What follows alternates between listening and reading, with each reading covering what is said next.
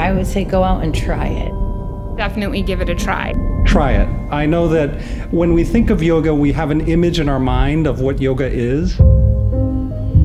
Yoga is a beautiful way not just move your body and get in tune with your physical wellness, but to really take time to reflect and breathe.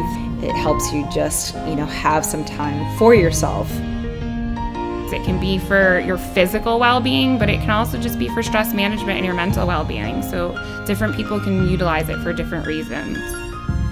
We love that it's geared for people at all levels. We have people who have never taken a class before. One of the things that we really like about the program is it's geared to people of all ages and all levels. I think that yoga is such a personal experience and it's such an accessible experience.